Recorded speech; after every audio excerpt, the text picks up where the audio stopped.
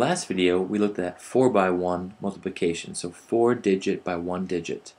In this one, we're going to look at 5 by 1 and beyond. So we'll look at, um, let's say, 9, 8, 7, 6, 5 digits by 1, let's say by 6, and then we'll create a really fun problem to deal with, something like, I don't know, 1, 2, 3, 4, 5, 6, 7, 8, 9, let's put a 9 over here, times 9. And we'll solve that one using stack multiplication. Okay, so how does this work? Well, look back in the other four videos before this um, for some background and theory. Quick reminder, what we're doing really is taking the unit digit and then distributing it to all the place values above. So when you look at stack multiplication, take this one digit and kind of multiply and combine it, distribute it with all the the place values above. And what that allows us to do is to think about this complicated problem in terms of simple multiplication combinations. So 6 times 5 is 30. And in this method, when you have 30, you put the 3 in the tens place because it represents 3 tens. It's very important to line up the place value. 6 times 6 is 36, plus 3 is 9, so 39. But that 3 now represents 390, so put the 3 in the hundreds place. 6 times 7, really 6 times 700, is 42. Plus 3 is 45, but again that really represents, represents 4,500. So the 4 goes in the thousands place. 6 times 8 is really 6 times 8,000. And what is that? Well, let's just write over here to keep track. That is, well, if I have six eight thousands, I can think of 6 times 8, which is 48. Um, but really, it's 1,000 times bigger, so 3 zeros bigger, 48,000. 6 times 8, I just put the 8 here, 48,000. And oops, don't want to forget. This is a, major mistake I also, also, also uh, this is a major mistake I often make when I'm using stack multiplication. I forget about the number up here. This 4 is another 4,000 from before when we did 6 times 700 and we got 4,500. So we have to add 4,000 to 48,000 or think of it as 48 plus 4 which is 52. So we're almost leaving out and forgetting about the thousands place. 6 times 8, 48 plus 4, 52. That's 52,000. So we put the 2 in the thousands place and the 5 in the 10,000 place because when we add 48,000 plus 4,000, that's 52,000. This is 5 ten thousands, and this is the ten thousands place. So we put that 5 here. And now we do 6 times 90,000. And the nice thing is we can think of that as 6 times 9. 54,000 or just 54 plus another 50,000. Well, 6 times 9, 54 plus 5, 59. Right? 59,000. Sorry, 590,000. So here 6 times 9 is 54 plus 5, 59. Now the 9 goes in the 10,000s place but that 50 is not really 50, it's 500,000. And I would put it in the next place, but well, there's just a zero here, isn't there?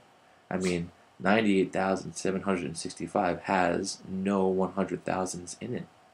So if I put that 5 up here, which I could have done from the 6 times 9, being 54 plus 5 ten thousands, which is 59, or 590,000, that would give us 9 ten thousands and 5 100,000s.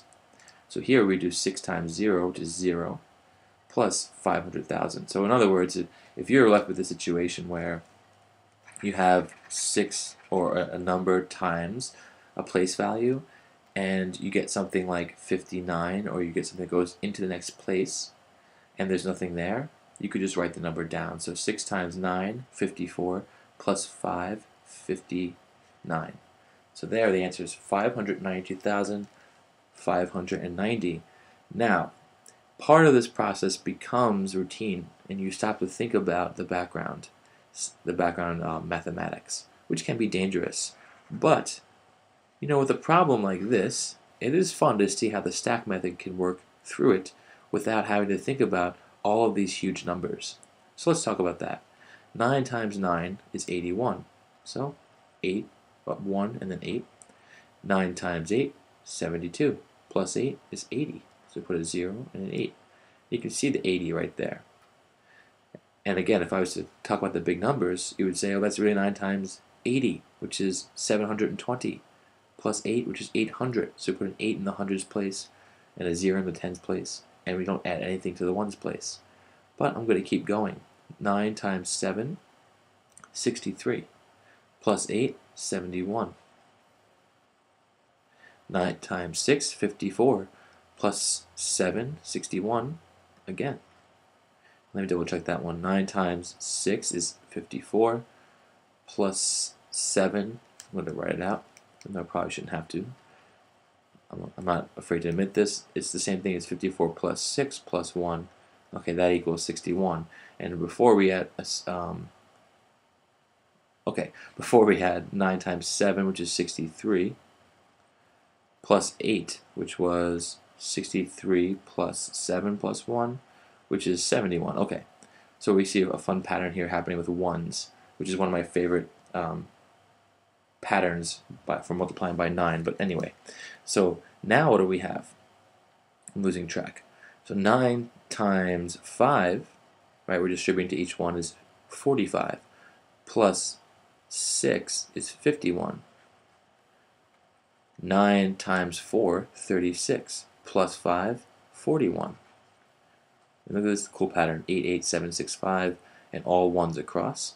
And you can see with a long problem like this how important it is to keep track of where these numbers are. Uh, and, and I would even make it neater than, than I'm doing right now because you can really lose track of the problem. 9 times 3, 27 plus 4 is 31.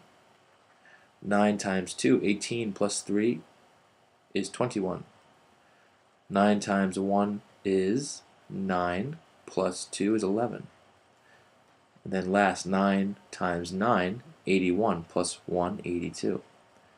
Wow. So, I want to point out something. In that last step, we, what were we really doing? It wasn't just 9 times 9, even though I was able to think of it as that. Here are the hundreds, the thousands, the millions, and the billions. And we got an answer that's, well, hundreds, thousands, millions, 82 billion. So we dealt with 9 times 9 billion as if it were 9 times 9. And that's some of the power of the stack method. So I hope, I hope we're beginning to see that. Thanks.